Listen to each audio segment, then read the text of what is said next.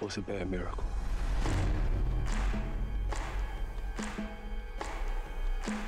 They got word for that. Following on the successes of Get Out and Us, Jordan Peele's latest movie is all about.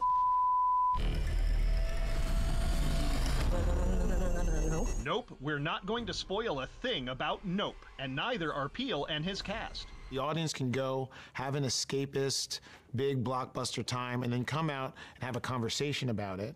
I think that, that that's all I can ask for. And I think the conversation about this film is about spectacle and how uh, how human beings are addicted to spectacle. Bro, what you see? Something above the clouds. That's big. How big? Big. When I got the opportunity to work on this, I just knew it was going to be a totally different experience. Um, having seen Get Out and Us and become increasingly a bigger fan of just all that he's capable of. Nope reunites Peele with his Get Out star. He's more confident.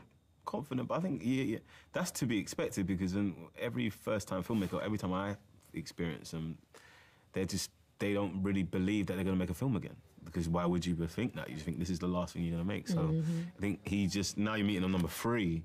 He knows he's making number four, and if he's not, that's his choice. I need y'all to tell me. What did you see in that cloud? Was not what you think. Keeping you spoiler free in Hollywood, I'm Rick Damigella.